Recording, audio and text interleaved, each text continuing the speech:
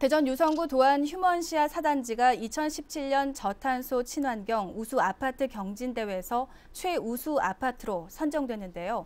박순복 소장과 전화 연결을 통해 자세한 이야기 나눠보겠습니다. 안녕하십니까? 예, 안녕하세요. 네, 먼저 축하드립니다.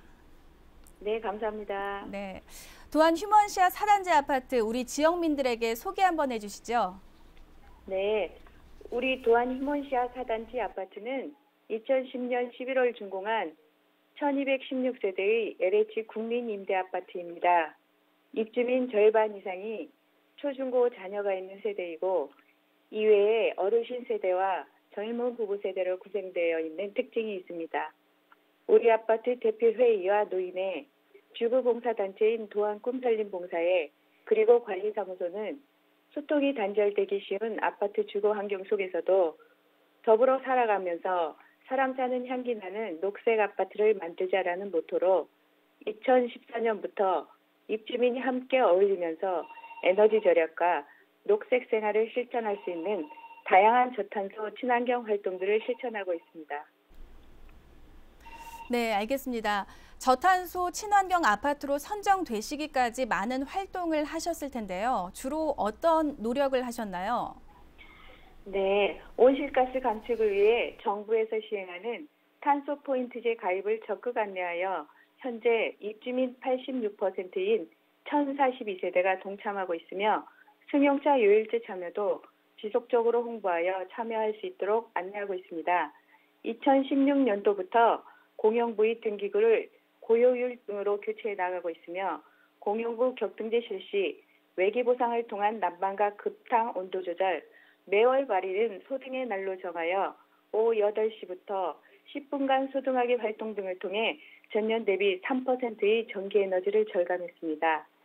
우리 아파트는 자라나는 어린이와 청소년이 많으므로 세대에서 효용이 다한 재활용이 가능한 도서, 장난감 등 물품과 의류를 필요한 세대에서 다시 활용할 수 있도록 상설 아나바다 센터를 3년째 운영하고 있으며 매년 야외 아나바다 장터를 열어 단지 내 어린이들도 참여하여 자원 재활용과 경제 교육의 장이 될 수 있도록 하고 있고 2017년도에는 유성구 종합사회복지관과 협약을 통해 총 5회의 아나바다 장터를 단지 내에서 운영하여 우리 아파트 주민들뿐만 아니라 인근 지역 주민들도 함께 참여할 수 있도록 하였습니다.